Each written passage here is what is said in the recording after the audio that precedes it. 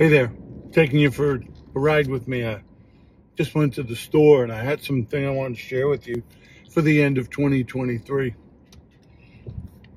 Back in 1995, the Lord used me to give a word at an Episcopal church. And the word was, stop cursing the darkness and praise the light. You know, we can get real upset about what the enemy's doing and the ugliness in the world and all the demonic activity, but the enemy's doing their job. The church hasn't done theirs. See, darkness is simply the absence of light.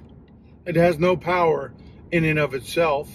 It can't do anything unless there's no light present. So, if we did our job, the enemy wouldn't be able to do theirs. But the enemy's made the church reactive instead of proactive. And we need to get proactive and put the enemy back on its heels. And to do that, we shine the light. We share the gospel. See, Yeshua said that he was the light of the world and that he's given us the light of life so that we can represent him in this fallen, dark world under the control of the enemy, under the control of Satan. Now we know that won't always be the case, and we look forward for that day.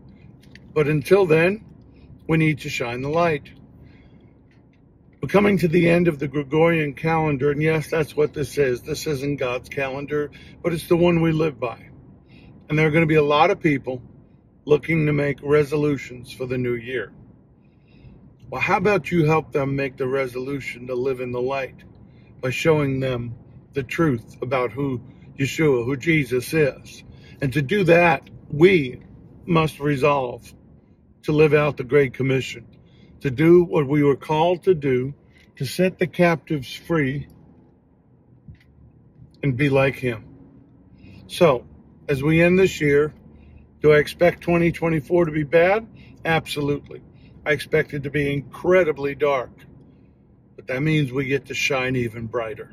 We get to be what He needs us to be at a time the world needs us to be that the most.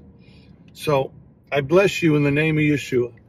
And in 2024, we're going to shine the light. We're going to be just what He needs us to be. God bless.